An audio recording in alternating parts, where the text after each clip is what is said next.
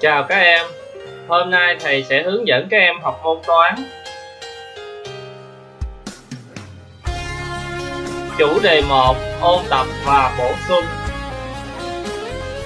Bài số bị trừ, số trừ hiệu tiết 2. Trước khi học bài mới, chúng ta sẽ vào phần khởi động nha các em. Ở bài cũ, chúng ta đã học và đã biết các thành phần của phép tính trừ thì hôm nay thầy sẽ ôn lại à, bài học cũ trên màn hình thầy có phép tính trừ 7 trừ 3 bằng 4 thầy mời các em gọi tên các thành phần trong phép tính trừ này à thì trong phép tính trừ này 7 là số bị trừ 3 là số trừ 4 là hiệu Bây giờ chúng ta qua phép trừ tiếp theo. Thì có 41 trừ 20 bằng 21. Thầy mời các em trả lời ờ, các thành phần trong phép trừ. À, trong phép trừ 41 trừ 20 bằng 21 thì 41 là số bị trừ. 20 là số trừ. 21 là hiệu. Bây giờ chúng ta sẽ qua bài mới số bị trừ số trừ hiệu tiết 2 bài 1 đặt tính rồi tính hiệu em nào có thể cho thầy nó em nào có thể cho thầy biết là hiệu ta thực hiện phép tính gì các em? À đúng rồi hiệu ta thực hiện phép tính trừ. Câu A. Số bị trừ là 63 số trừ là 20 à thì à, ta có số bị trừ là 63 số trừ là 20 thì ta có phép tính trừ là 63 trừ 20 bây giờ thầy mời các em thực hiện à, bài ra phiếu.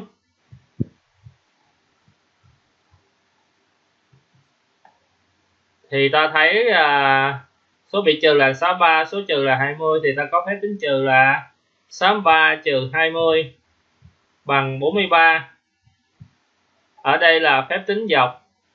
Thì thầy lưu ý với các em chúng ta sẽ sắp uh, số cho nó thẳng cột số đơn vị thẳng cột với đơn vị số trục thẳng cột với trục bây giờ chúng ta qua câu B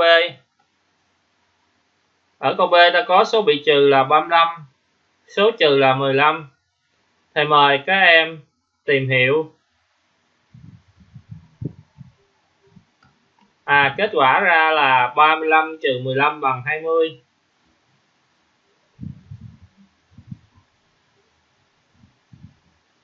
Ta qua câu C.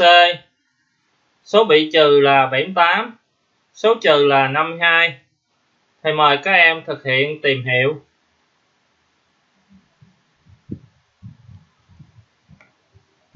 Thì ta có phép trừ là 78 trừ 52 ra hiệu là 26. Câu D, số bị trừ là 97, số trừ là 6. Thầy mời các em thực hiện. Thì ta được là 97 trừ 6 bằng 71. Ở cái câu D này thì lưu ý các em thì các em viết số 6 dưới số 7 nha. Bây giờ chúng ta qua bài số 2, tính nhẩm trên màn hình thầy có 6 phép tính bây giờ chúng ta sẽ tiến hành thực hiện tính nhẩm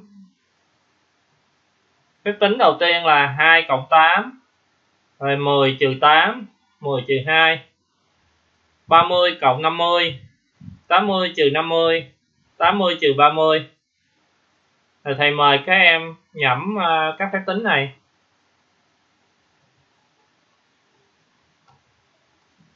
Hai cộng 8 thì ta có kết quả là bằng 10 10 trừ 8 thì bằng 2 10 trừ 2 bằng 8 30 cộng 50 thì bằng 80 80 trừ 50 thì bằng 30 80 trừ 30 bằng 50 Bây giờ chúng ta qua bài số 3 Bài số 3 kêu chúng ta tìm số. Thì ở câu A, ta thấy hàng trên cùng là số 8 thì để tìm được số ở bài tập số 3 này, thì ta sẽ sử dụng sơ đồ tách gợp thì 8 gồm 3 và 5 3 thì gồm 2 và 1 vậy bây giờ 5 thì gồm 1 và mấy các em? À gồm 1 và 4 bây giờ ta qua câu B thì ta thấy số ở hàng trên cùng là số 10 số 10 thì gồm 6 và 4 và 6 thì gồm 5 và mấy các em à 5 và 1 rồi ta thấy số 4 thì nó gồm 1 và mấy? 4 thì gồm 1 và 3 bây giờ tiếp tục. Ở đây ta thấy số 5 thì gồm 4 và mấy các em? Thì 5 là gồm 4 và 1 ở đây 1 thì ta tiếp tục, ta sử dụng sơ đồ tách gộp tiếp tục để ta tìm. Một thì gồm một và mấy em? À một thì gồm một và không.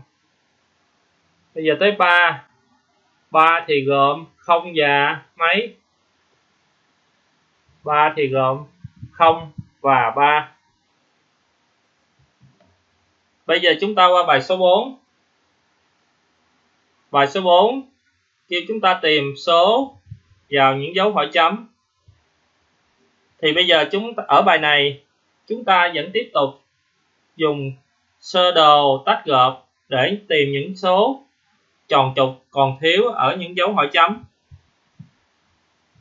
Thầy mời các em xem bài mẫu. Thì ta thấy 70 gồm 30 và 40. Giờ chúng ta thực hiện bài đầu tiên 50 thì gồm mấy mươi 50 thì gồm 20 và bao nhiêu các em à 50 thì gồm 20 và 30 giờ bài tiếp theo 60 thì gồm 40 và bao nhiêu các em? À 60 thì gồm 40 và 20 và bài cuối cùng 90 thì gồm 90 và bao nhiêu? À, 90 thì gồm 90 và 0 bài số 5 tính để tìm bó cỏ cho bò.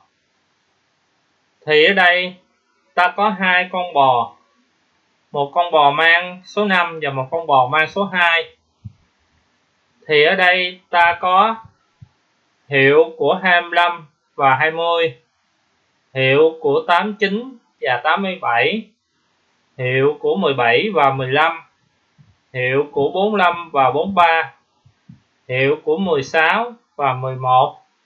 Nhiệm vụ của các em thì tìm hiệu của các phép tính này cũng là của các bó cỏ để ta biết bó cỏ nào thuộc của con bò số 5 và bó cỏ nào của con bò số 2 nhé các em.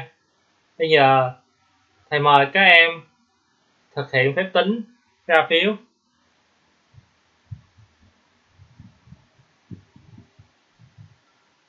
thì ở phép tính đầu tiên, hiệu của 25 và 20 thì nó cho ra kết quả là 5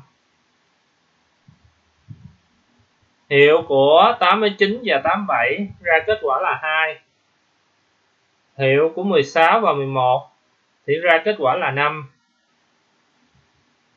hiệu của 45 và 43 ra kết quả là 2 hiệu của 17 và 15 ra kết quả là 2 vậy đây thì ta thấy là có 3 số 2 và hai số 5 vậy là chúng ta biết con bò số 5 có mấy bó cỏ và con bò số 2 có mấy bó cỏ, phải không các em? À. thì con bò số 5 có hai bó cỏ, con bò số 2 có 3 bó cỏ. Bài học chúng ta tới đây là kết thúc rồi. Chào tạm biệt các em. Các em nhớ hoàn thành các bài tập trong phiếu nha hẹn gặp lại các em ở bài sau.